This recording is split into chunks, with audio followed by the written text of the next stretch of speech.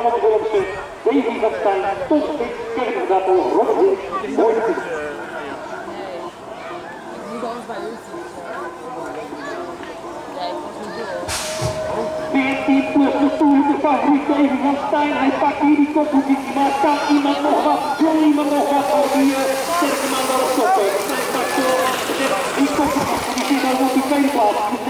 Die goed er natuurlijk.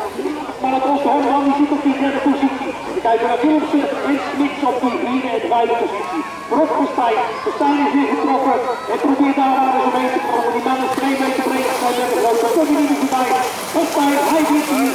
Dus doet hij als de 14 plus, doet hij voor voor Horman en op die vierde plaats is daar nog Willemsen,